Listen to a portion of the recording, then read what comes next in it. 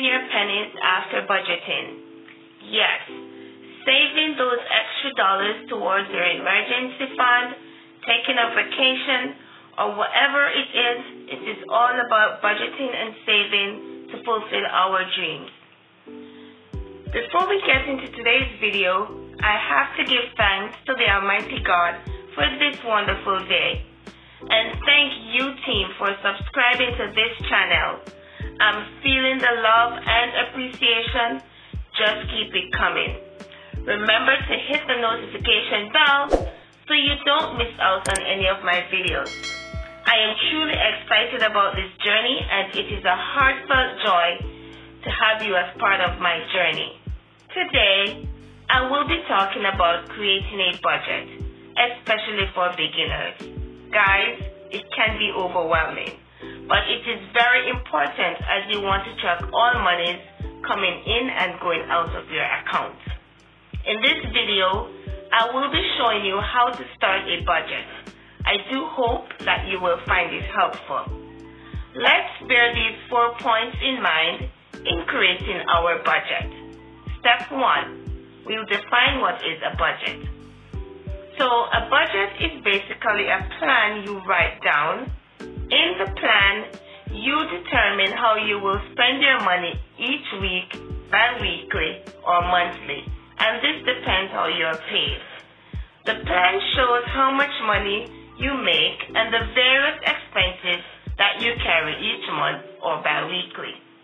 Personally, having a budget helps me to have more control over my spending, keeps me in check, plus I can see where my money is going. Now, we will move to step two, and that is creating the budget. I will be creating a bi-weekly budget as this is our paid. If you are paid weekly or monthly, then you can follow the same steps. So there are some information that we will need such as our pay stubs and bills. If you do not have access to the bills right away, you can just create a list of the expenses you have. For my family, we have the same pay dates, and that makes it easy to do our budgeting. I remember at one point we had different pay dates. So I would be paid, for example, this week, my husband next week, and so on. So in this case, I was doing my budget weekly. If your family have different pay dates, no worries. Just create your budget based on how you are paid. I am truly humbled to share as much of my journey with you and to take you along. There are some things, however, I will keep confidential, such as our income, and I ask for your understanding in this regard. As such, I will start my budget with the remaining balance after I have deducted mortgage, tithing, loan, auto loan, and insurance. I have also prepared a worksheet and I'll be filling in the numbers shortly. It is important also to use a calendar to log your expenses so you don't miss them. I have placed a copy of the worksheet and the monthly calendar in the description box. Remember to hit the notification bell so you get notified when a video drops. Step 3 and 4 will be mentioned later in the video.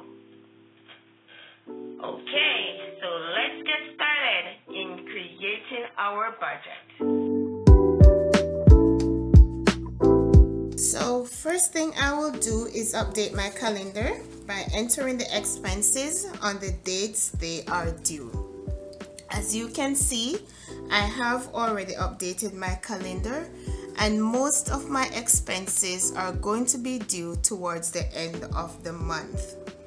It is also important to have a calendar when we are creating our budget. So now that my calendar has been updated, I will now move to creating our budget.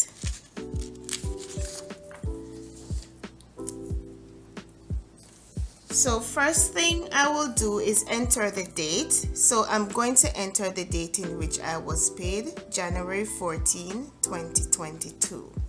and you can enter the date in which you were paid. The next thing that I will be doing, I will be entering my income. So I'm going to be entering my remaining balance. So my remaining balance is 1,477. So that amount has been entered.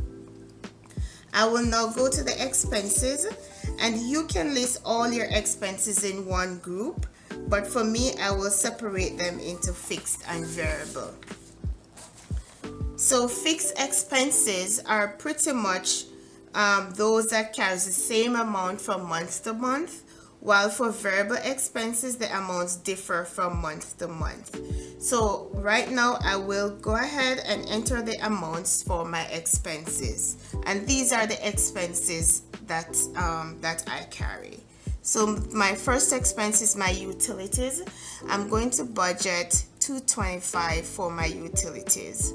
Next is my cable, internet, and cell phone. And I just group those and my budget is 125.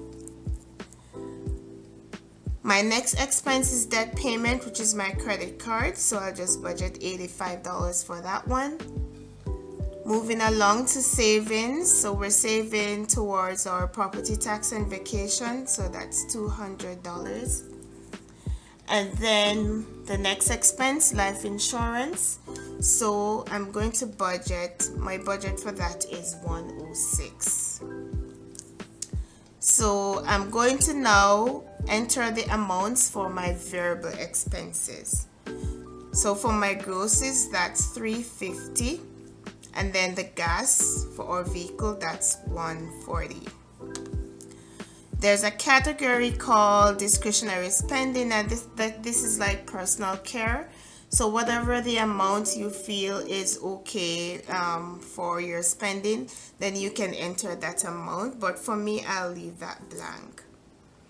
So at this point I am now going to add all my expenses to get my total. So I'm adding these up now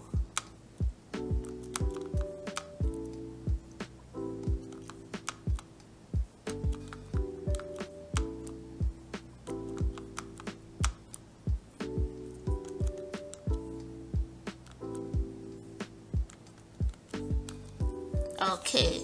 So my total expense um, is $1,231 and this takes us to step three which is where I'm going to subtract my expense from my income.